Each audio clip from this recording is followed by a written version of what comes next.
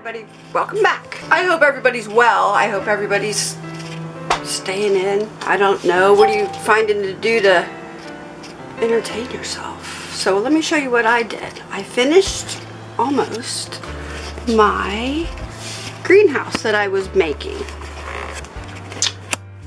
I started showing it in another video. Oh, there you go. In another video, I started showing the build and here's my finished product. I may add more lights, move lights around in there because I, I don't know, I just might. But this is a shower curtain right here. And I have it on rings and I put the rings, you can see them in there. Mm, let's see. I put the rings back here because I didn't want heat escaping.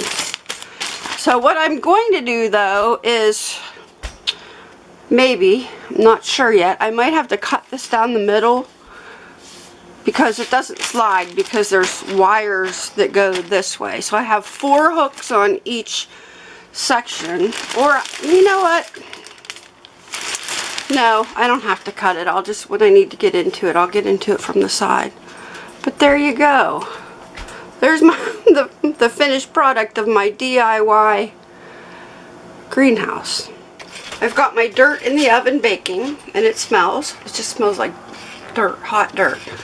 So that's doing that. I I don't know, I heard I needed to do that, so I'm doing that. I have, this week I'm going to plant, yeah, green beans. No, no I'm not. Wait a minute.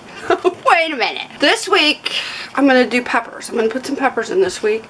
Next week I'll do tomatoes. I've got I've got a system of when I'm going to plant these seeds. I really, I don't know what I'm doing. This is the first time I've ever done this. By seed, I've done it, I've went and bought plants and stuff, but I wanted, I just want to do it all. My husband has been working on our beds. I'll show you those. Alright, I don't have any shoes on, so, but I did show these in another video. Let me zoom in. There's the first one. That end box is going to have green beans in it. We're going to do green beans.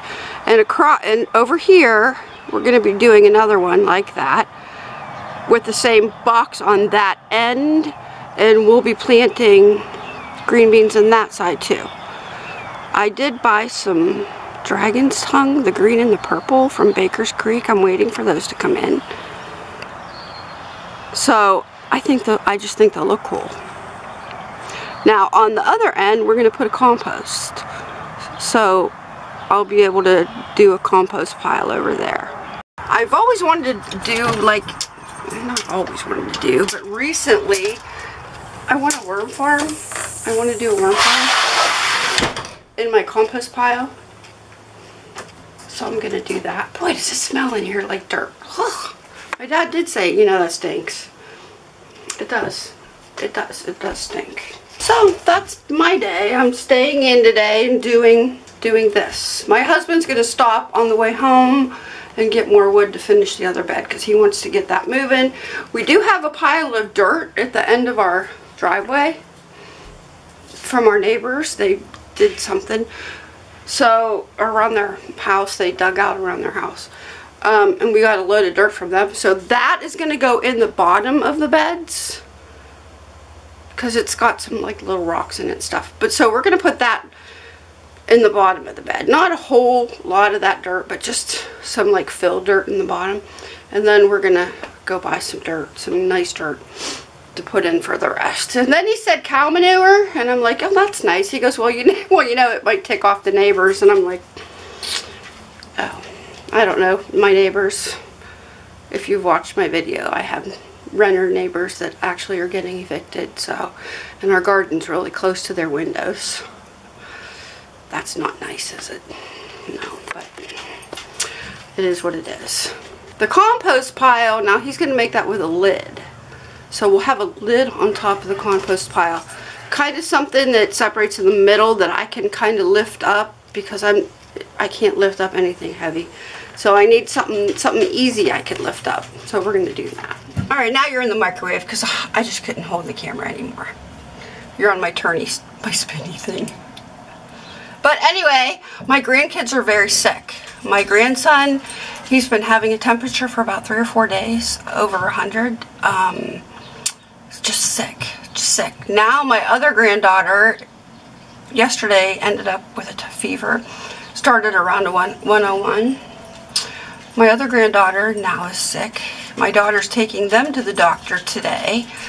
I, I don't know, but my, my daughter did take my grandson to the ER. She had to go through the tent to get in the ER. The doctor tested him for everything but the the virus that's happening out there now. He had strep, he did everything, everything, because he was kind of nauseated, sick, high fever, and they told her it's just a virus. Well, this is like two or three days. She took him Saturday, Sunday. She took him Sunday. It's Tuesday now, and he's not doing any better. So we're all at a loss of what to do because you don't want to go to the hospital because because of everybody being sick, but you don't want your kid being sick. So what what do you do? Well, you know, you're kind of stuck there.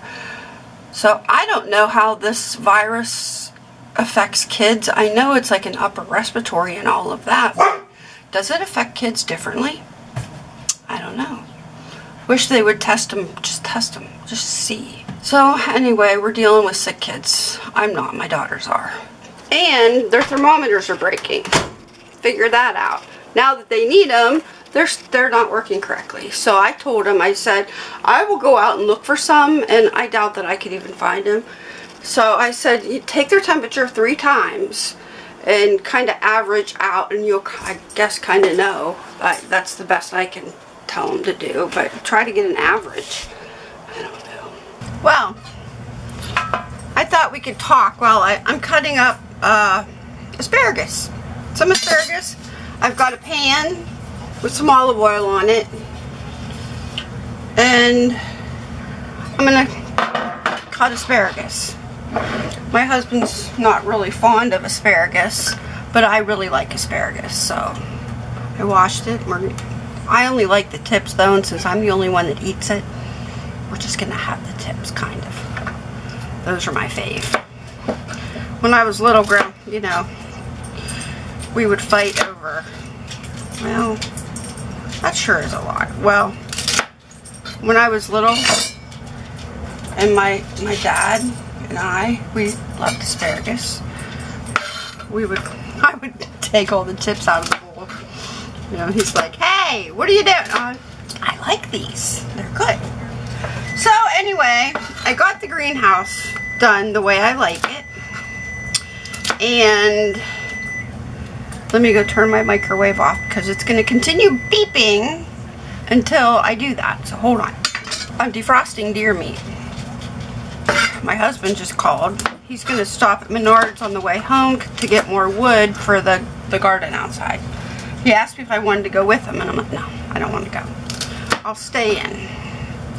So, less chances of us catching the virus if only one of us goes to the store, right? Right, that's what I was thinking. Alright, I got this all chopped up, see? I do have a tripod I could get out, but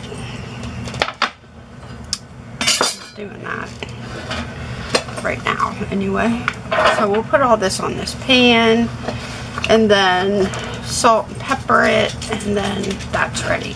But he called, he's on his way home from work, and I've been so busy on this greenhouse thing here, and on some other, I edited, I edited, I edited the video, probably that you saw yesterday. Alright, I'm gonna stir this. I probably have too much olive oil in here. Because once it get, I do. Let me get. Paper towel. We'll just kind of wipe some of it out because I know I have too much. See? I got a lot. Probably don't need this much. But anyway, I like asparagus. He's going to stop and get the wood, get some more wood to, cause, to build the other bed. Now, the other bed, he decided he's not going to build so, last paper towel, he's not going to build so tall he wants it the other one is two two boards high he's going to do this one board high so he's going to be doing that and he's getting wood to build my compost so I can start doing that in my worm farm. I want a worm farm. I don't know. I just do. Let me get salt and pepper for this. I use the pink salt. I like the pink salt. tends to be a little stronger though than the regular salt. And pepper. I like ground pepper and I like a lot of pepper. So we're doing that. Well, anyway, he called. He's on his way home from work, and I'm like, oh, I didn't even think of anything for dinner. Nothing. There, that'll work, see?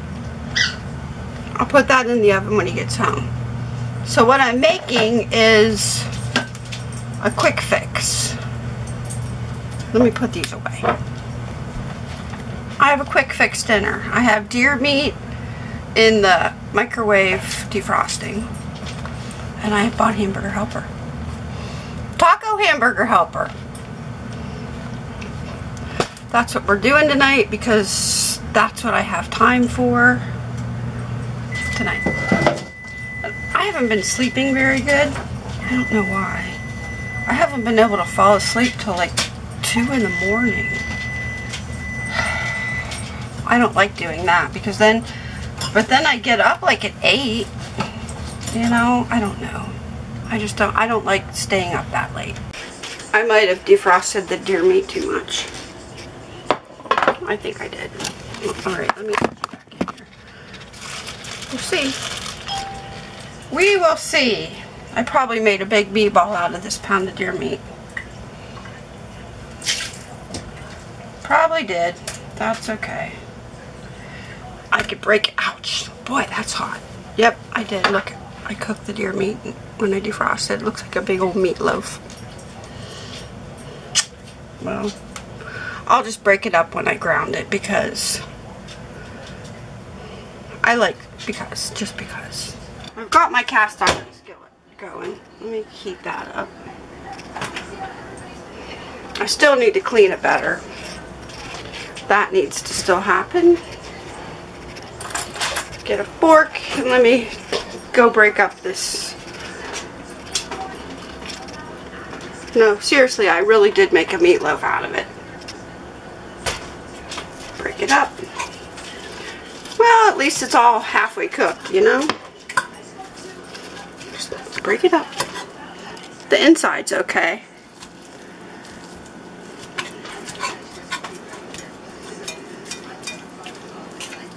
Oh, it'll work. It'll work. Let me put you. Okay, now you're in my microwave. He'll never know. Not unless he watches this video. He might know. But hey, what are you going to do? I like my, when I ground beef, I like it almost burnt. Any, either deer meat, I like hamburger, I mean, right to the crispy stage. Because then I know it's, I like my hamburgers that way too. I don't like, now my steaks, I like to eat medium raw, you know, medium rare there. I like it that way because they're easier, they're a lot easier to chew. Try it sometime. Make your steak like medium rare. Oh, the meat is so tender and it's so good that way. But now my hamburgers, I like when I have a hamburger, it's got to be well done. I don't like any pink in it. I like it crispy. I don't know why. And hot dogs too. If you're going to cook me a hot dog, I'll have it black. I'll have it black. I like it that way. And my marshmallows, you know you do marshmallows. I like those burnt on fire.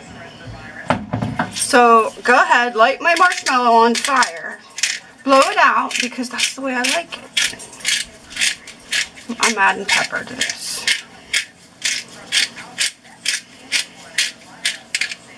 It's dinner, right? Thank God we have all this deer meat because every everything in my area is gone. And it's probably gone in your area too. My mom, whoa, my mom and I are going to go shopping because she's going to need some stuff. we're gonna go shopping like next Wednesday. She was gonna, I told her, I said, I will go with you and I'll bring my alcohol spray I have in this bottle here. Alcohol spray. I put it in there. This is my, I got Lysol sitting here and I got Clorox wipes. And then I've got the thermometer, the Aleve D. This is like good. This is good stuff. Aleve D, good stuff. And yeah. Oh, here. And this. I told my husband, I said, listen, if you get up in the middle of the night, we're going to make this really easy. If you get up and you're not feeling good, here's the thermometer. Here's the everything you need. Nighttime cold medicine and all of that. And let me tell you what I use. See this stuff? Aspercreme? Not, I am really not sponsored by any of this, but I have rod in my spine, neck fusions, all that good stuff. And when I'm hurting, Aspercreme with lidocaine, you gotta buy this.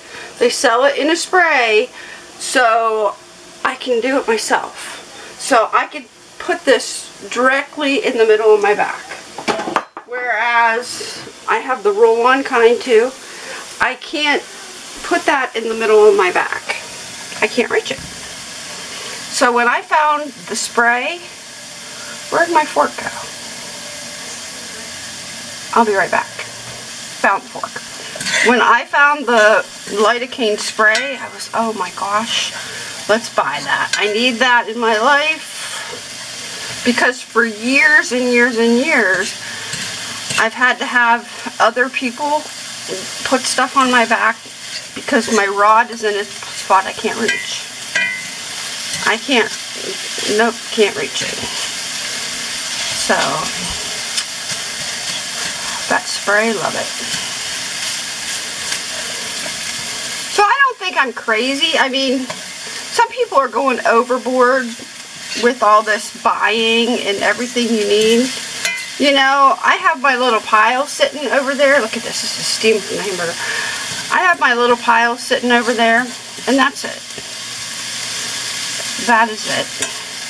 If we get sick, there's something here, because who wants to get up in the middle of the night when you don't feel good? You know, if you get up in the middle of the night, you're coughing, you're fever, you're sick, you need something. So we have that. Food, I didn't do anything extra. I had just really gone to the grocery store and it's just me and my husband here. I could drive through McDonald's if I wanted to. So we have enough food. And he got a deer this year, so we've got a lot of deer meat in the freezer.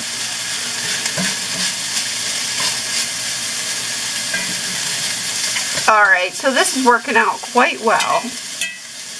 Look at this. My big my big chunks, they're gone. Well, I have a problem. This calls for two and three-fourths cup water. Okay? Got that. Got that. Alright, we'll put that right in there. And then it calls for a cup of milk. Now, I have a milk allergy.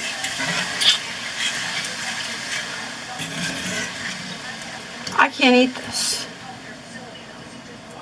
I can't eat this. Unless I don't put, I have to put the milk in it. There goes my cup of milk. And I won't be eating this for dinner. I just developed a milk allergy like this year. Well, this year, last year actually. And I, I don't know. I don't know. You don't want to know what happens if I have milk. It's not pretty. And I don't feel well when I... Corn chips, I guess those go last. What is this? Probably the...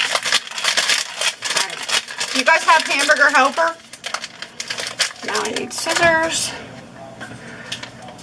Do you ever make hamburger helper?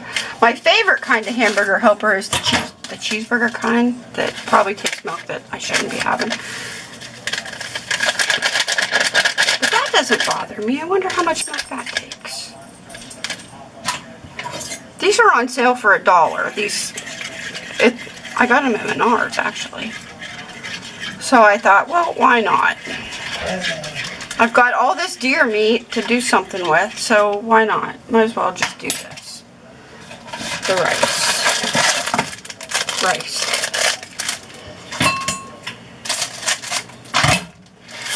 I've got like a lot of deer meat ground up because that's we ground it all. We mixed it with like hamburger and deer meat together.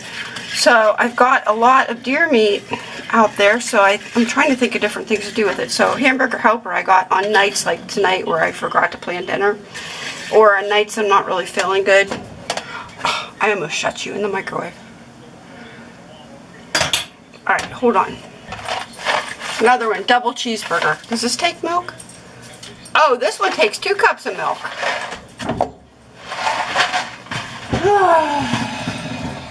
Maybe I'll try eating it anyway. No, last night I made a chicken pot pie. I, I might show it in this video. I, my husband wanted me to film it. So, here, here's a clip of that. Hi everybody. It is in the evening and we're about to eat dinner and my husband wanted me to show you what's for dinner. I made a chicken pot pie kind of. I kind of improvised. I'm going to show it to you. Alright, the bottom is the crust. Alright, look at that. I have just the regular crust, but on top of there is, I made stuffing. I thought instead of putting a top crust on my chicken pot pie, I'm going to cover it with stuffing. Why not? So there's like, I did chicken in my, in my cast iron skillet. I cut up chicken, white chicken breast, and fried that up with some seasonings. Put that put that on top of the pie crust first. Put that in first. And then I had some frozen peas and corn. That went in next. And then I put some potatoes in there. Cut them in little squares and put some potatoes in there. And then made some gravy. I didn't have chicken broth. So I used beef broth so I've got chicken pot pie with beef broth. And then I put stuffing on top of it instead of a crust. I, I just think that looks so good. I don't know. But there you go. That's what's for dinner tonight. Alright, I was in my pajamas ready for bed when I filmed that. But that was so good. And I topped this top, the top with stuffing instead of putting a top crust on it. Oh boy, was that good. That was very good. I'll just have that tonight left over. Hamburger helper in a cast iron skillet. Can't beat that, now can you?